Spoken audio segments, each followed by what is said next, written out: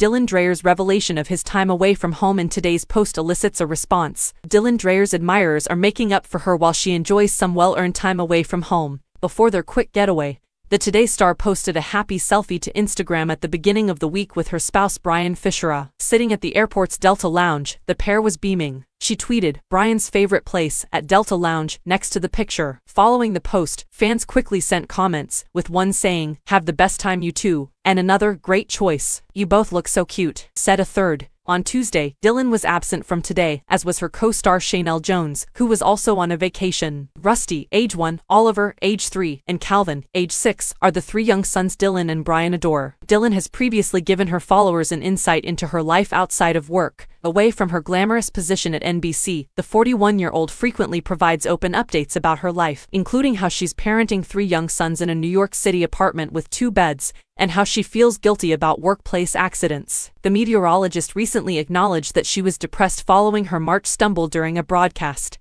Brian Fichera, the star's spouse, made sure she didn't feel too horrible about it at home by surprising her with the cutest thing. In an attempt to cheer her up, Dylan received a vase of flowers from Brian along with a letter that said, It's just waters, erroneously writing words, a subliminal reference to her on-air gaffe how the photographer attempts to make me feel better after I made a mistake when reading tonight's weather prediction, she captioned the photo, adding, he completely gets me.